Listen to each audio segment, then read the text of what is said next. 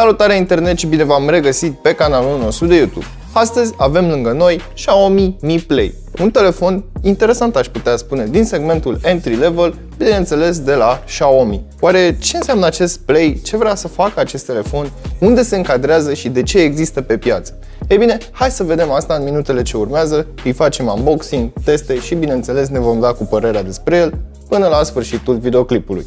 Dar înainte de toate, nu uita să te abonezi și să activezi notificările, iar mai apoi intră pe cel.ro slash giveaway pentru a te înscrie în concurs. Hai să deschidem cutia. Mai întâi, hai să aruncăm o privire asupra acestei cutii. După cum putem observa, scrie Play, colorat cu albastru și portocaliu cu roșu și puțin mov pe aici. Este un ambalaj foarte calitativ din punctul meu de vedere și, sincer să fiu, cred că e mai scump ambalajul decât telefonul. Nu, glumesc, glumesc, glumesc, glumesc. Dar este foarte calitativ, este o cutie foarte solidă și îmi place cum este ambalat. Nu zornă e nimic înăuntru, nu este absolut nimic pus la întâmplare. Hai să ne uităm pe spate să vedem ce ne spune producătorul. Avem așa, un display de 5,84 de inch Full HD+, cu dot drop display. Deci nu e dew drop și nu este V-drop sau nu este V-notch, este dot drop display. De asemenea, avem dual camera pe spate, un procesor Helio P35, un octa-core până la 2,3 GHz, este făcut de producătorul MediaTek și ca design avem un uh, spate glossy cu colțuri rotunjite. Modelul pe care eu îl am aici este de 4 GB RAM cu 64 de GB spațiu de stocare intern.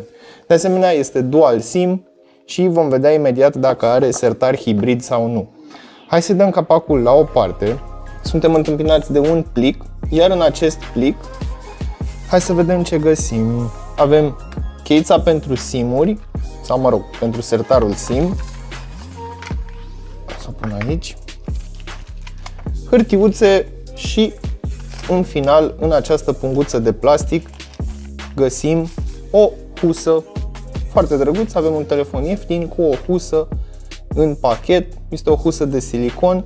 Avem și acele mici protuberanțe care nu-ți dau impresia de ulei. Deci nu o să se lipească de telefon. Hai să vedem telefonul cum arată, dar mai întâi să ne uităm ce mai găsim în cutie avem așa, încărcătorul, este un încărcător destul de mare, hai să vedem și ce amperaj are, 5V 2 amperi. Perfect, măcar are 2 amperi, nu are sub 2 amperi și se va încărca destul de repede. Țin să menționez faptul că acest telefon are o baterie de 3000 de mAh. Și în final avem cablul de date și bineînțeles de alimentare micro USB nu avem USB tip C, însă având în vedere că este un telefon entry level, nici măcar nu mă interesează acest aspect. Modelul meu este negru, arată foarte interesant din punctul meu de vedere, are un finisaj foarte fin.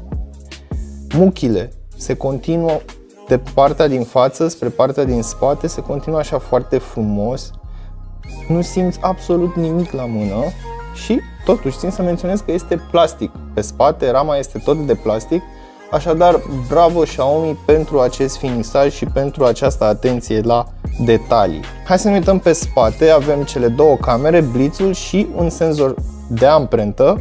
Pe muchia din dreapta avem butonul plus și minus pentru volum și bineînțeles butonul de power.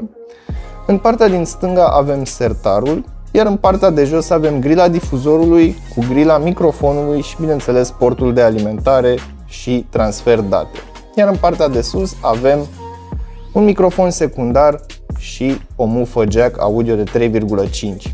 La prima impresie, telefonul este foarte mic, foarte compact, destul de ușor de utilizat cu o singură mână, foarte confortabil de ținut atât în poziția portret cât și în poziția landscape și țin să menționez faptul că această curbură mică de pe spate practic se mulează perfect cu palma foarte bine stă, îmi place foarte mult finisajul acestui telefon, chiar dacă este un telefon ieftin. Să nu uităm, pe partea din față avem camera pentru selfie, grila difuzorului și undeva aici în partea de jos este ascuns și LED-ul pentru notificări. Deci, uh, da, ai auzit Samsung? Avem un LED pentru notificări pe un telefon ieftin. Bun, până acum sunt impresionat de acest dispozitiv, chiar dacă avem un procesor Mediatek, nu mă, nu mă face să mă bucur foarte mult acest lucru, însă, la prima vedere este un telefon care arată foarte simpatic, îmi place, e un telefon arătos, un telefon frumos, se simte foarte confortabil în mână și nu, nu știu, nu chiar nu arată la telefon ieftin. Finisajul acesta îmi place foarte mult, aș vrea ca toate telefoanele din plastic să aibă acest finisaj. E bine, am pornit telefonul și am făcut setările și am promis că ne uităm la sertar. Așadar, hai să-l scoatem de aici ușor. Ei bine, nu este hibrid, chiar dacă pe GSM Arena menționează faptul că este hibrid, e bine, avem două simuri și bineînțeles suport pentru cardul micro SD. Probabil vor updata și ei informațiile de pe GSM Arena. Hai să vedem cum stăm și cu această husă pe telefon. Am luat-o și am pus-o aici. Ok, stă foarte drăguț, foarte bine. Este tăiată la fix, aș putea spune. Și, sincer să fiu, nu arată rău deloc. Chiar dacă este lucioasă pe spate, nici nu-ți dai seama că are o husă. Mă rog, doar dacă te uiți foarte atent aici în zona camerei și în zona senzorului de amprentă, dar în rest arată foarte bine. Dar, acum, pentru că tot am blocat telefonul, se deblochează destul de repede, aș putea spune. Nu este cel mai rapid, nu este nici cel mai uh, încet, însă este un senzor destul de bun care nu văd să dea greș aproape niciodată. Sau, mă rog, poți să ai degetul uh, transpirat și atunci poți să ai o problemă în a recunoaște, dar acest lucru se întâmplă și cu alte telefoane. Acum, hai să vorbim puțin despre display. Avem un panou IPS de 5,84 inch ce ocupă undeva la 80,1% din suprafața frontală. Avem o rezoluție de 2280 pe 1080 de pixeli, asta înseamnă că este un ecran Full HD+.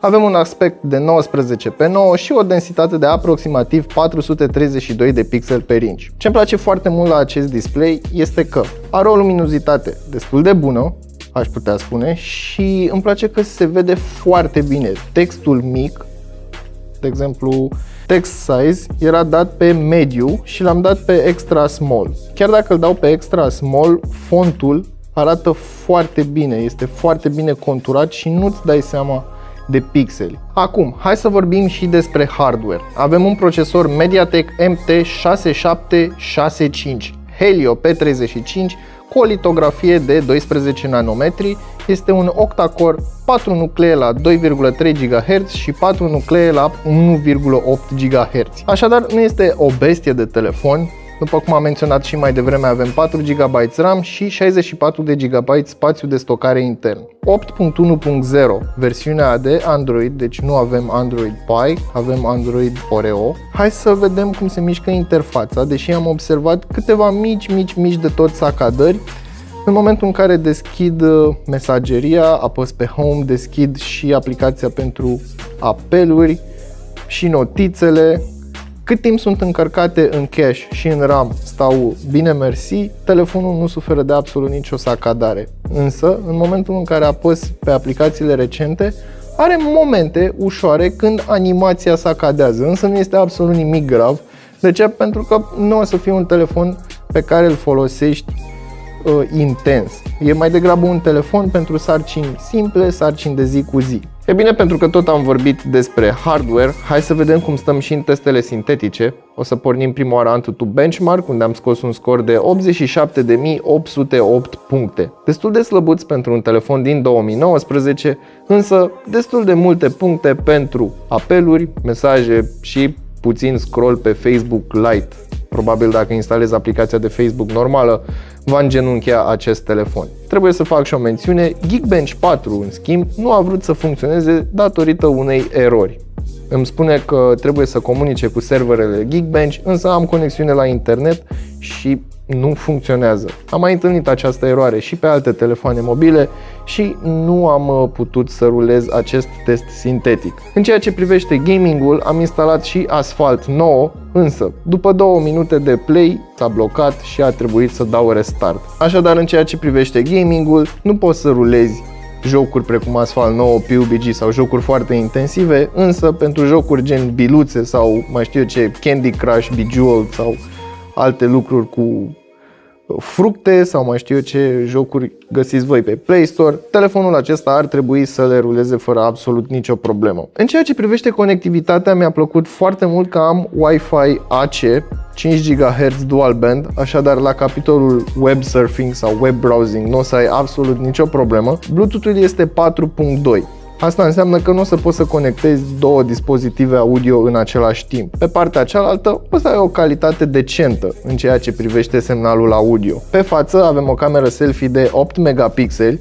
ce este capabilă să filmeze 1080p la 30 de cadre pe secundă. Pe spate, în schimb, avem camera principală de 12 megapixeli f2.2 și cea de-a doua este un senzor pentru adâncime. Probabil este de 2 megapixeli, însă nu am văzut acest lucru specificat undeva. Camera este capabilă să filmeze 1080-30 de cadre pe secundă și în cazul în care sunteți curioși, hai să ne uităm și la aplicații. Este aplicația standard Xiaomi, butonul pentru galerie, declanșatorul și butonul care schimbă cele două camere, butonul pentru setări flash, HDR, filtre, și butonul pentru setări, timer, tilt shift și alte opțiuni. În ceea ce privesc uh, modurile, avem short video, video, foto, portret pentru crearea efectului de bokeh, square, panoramă și bineînțeles manual. Și avem setări pentru timpul de expunere și focus manual.